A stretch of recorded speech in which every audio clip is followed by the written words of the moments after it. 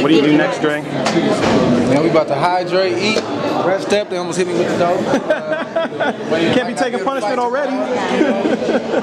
Shoulder hurting a little bit. Just rest up, eat, and uh, man, get ready to work, man. Yeah. What are you gonna eat? What's on the menu? Man, we got steak, we got everything. We got steak, we got potatoes, Yeah. vegetables. Yeah. Cards right out here? Right there. All right, let's do it.